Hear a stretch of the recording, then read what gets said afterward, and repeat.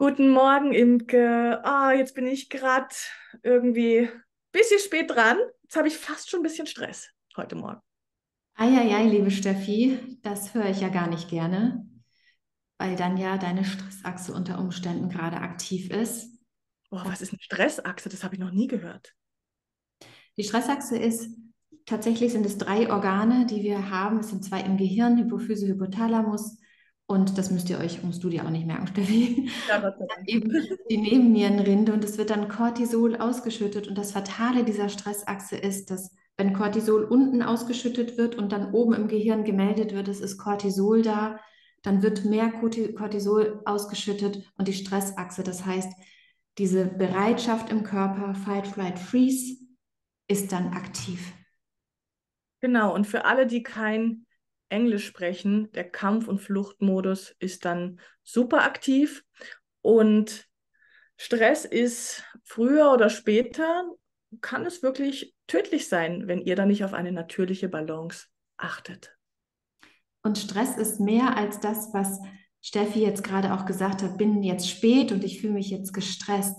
Jeder Schmerz ist zum Beispiel Stress für das System. Und wir haben vor einiger Zeit auch schon mal über das, was dich nährt, gesprochen. Und das, was dich nicht nährt, ist zum Beispiel auch Stress für das System. Und was dann passiert ist, dass dein zehnter Hirnnerv, das ist dein Entspannungsnervensystem, sehr müde und träge wird.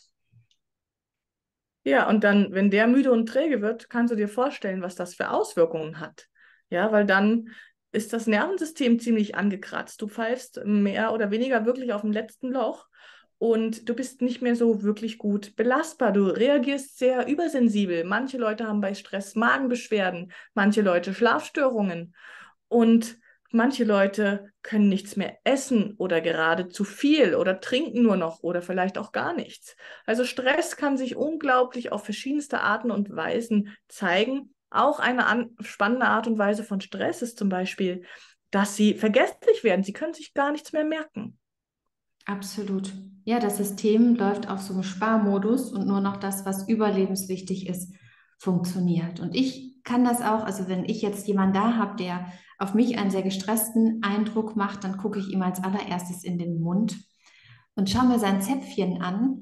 Und das hängt dann nicht gerade, wie es sein sollte, drin, sondern hängt zu einer Seite und das zeigt, dass der zehnte Hirnnerv angespannt ist. Das sehen wir sogar im Zäpfchen, wie das da hinten drin hängt. Das ist sehr, sehr spannend. Ja, und dann gibt es so Leute und sagen, aber positiver Stress ist doch gut. Egal welche Form von Stress, egal ob Eustress oder auch nicht, äh, es ist nicht der beste Beitrag für euer Leben tatsächlich, auch nicht für euren Körper oder für sonst irgendjemanden. Und ich kann das sagen, ich bin sehr, sehr stark fühlig auch. Also ich fühle stark meine Mitmenschen. Wenn jetzt da jemand vor mir steht, der Stress hat, dann habe ich mich schon gefühlt, wie als ob er mich kurz mal eine Stromsteckdose angesteckt hatte. Ja, also so unter Starkstrom. Und ich muss euch sagen, also das fühlt sich jetzt meines Erachtens nach zumindest nicht so angenehm an. Imke, du hast da vorhin diese Übung erwähnt. Magst du uns die vielleicht mal erklären? Weil das klingt echt sehr hilfreich. Genau, es geht darum, den zehnten Hirnnerv, das ist ein Entspannungsnerv, wieder an Bord zu holen und ihm zu zeigen, dass er ganz schnell auch anspringen darf. Und das machst du am besten im Bett, die Übung. Das heißt, du nimmst deine Hände unter deinen Hinterkopf, um den Kopf auch so ein bisschen gerade zu fixieren und schaust dann nur mit den Augen in eine Richtung. Und zwar so lange, bis du schlucken musst, räuspern musst oder gähnen musst. Und erst dann wechselst du die Seite. Sehr gut. Und das kann am Anfang wirklich dauern. Je nachdem, wie angespannt dein System ist, denkst du dann, meine Güte, kommt da mal was? Bitte halte durch, mach erst die eine Seite, dann die andere Seite, wo du anfängst, ist egal. Und das mal eine Zeit lang üben, dann merkt dein Nerv, er ist sicher und er kann schneller anspringen. Und was bringt das genau, wenn dieser Nerv anspringt? Dann kommst du nämlich in diesen Entspannungsmodus und physisch ist auch zum Beispiel Heilung, körperliche Heilung nur im Entspannungsmodus möglich. Unter Stress funktioniert das nicht, da ist die Ressource nicht da. Unter Stress fährt übrigens auch das Immunsystem runter. Das heißt, deshalb ist es so wichtig, dass der Entspannungsnerv aktiv ist. Dann erst verdauen wir vernünftig, dann erst ist unser Immunsystem intakt und unsere Heilung, unsere Selbstheilung funktioniert. Ja, und eben, wenn der Nerv da noch nicht angesprungen ist, ja, dann können wir die Heilung und die Selbstheilungskräfte auch nicht annehmen. Wir können also die Heilung nicht empfangen. Und dann, du hast es so schön gesagt, das Immunsystem reagiert. Das heißt, wie reagiert es? Es ist halt irgendwann fix und fertig mit der Welt und gibt euch eine Krankheit, damit ihr mal im Bett bleibt und Ruhe gebt mhm. und achtsam seid. Genau. Deshalb ist es so wichtig, dass ihr auch schaut, dass ihr aus dem Stress rauskommt. Da gibt es natürlich noch viele Möglichkeiten. Das ist jetzt eine Übung, um den zehnten Hirnnerv wieder zu aktivieren.